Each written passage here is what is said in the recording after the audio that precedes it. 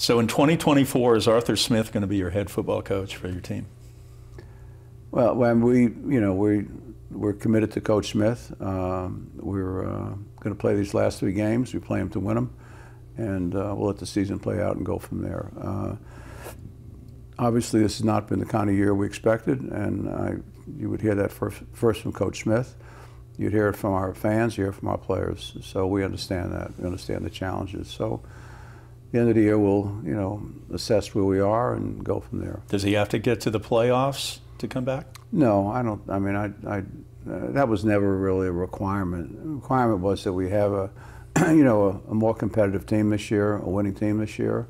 Um, and I think that, you know, through this part of the season, it's been mixed, uh, quite honestly. And that's what I think, uh, that's what the coach would say. Um, you know, and he's, Arthur is a very, um, very honest, uh, uh very, um,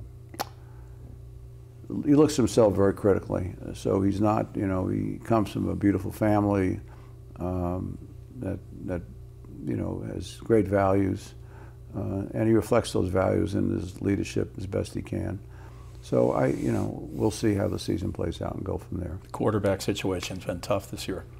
It has been tough. Yeah, um, we certainly, you know, had high hopes for Desmond Ridder, and and uh, he's done a lot of good things for us this year. But you know, hasn't he would be the first to tell you, hasn't been the kind of consistent performer that you know we'd like him to be, and in this business, uh, the NFL business or the business of college ball, you have turnovers. It's uh, it's a very tough, very tough uh, thing to overcome. And so, it's a public so, business. Yeah. You got to please the fans. Yeah. Well, you got to please the fans, but um, it, it's not. It is about pleasing the fans, but it's about really uh, putting a product on the field that you know represents the best um, of our roster, the best of what we can put together and in my case, you know, it's it's uh, having the best people that we can who are making the critical decisions.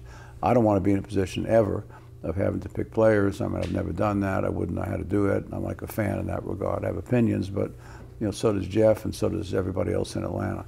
Um, but I think uh, it's really making sure we have the right people, making sure they're fully empowered, make sure they have all the resources, um, and that they're making the decisions that we should make to put a winning product on the field, and, uh, and that's their job.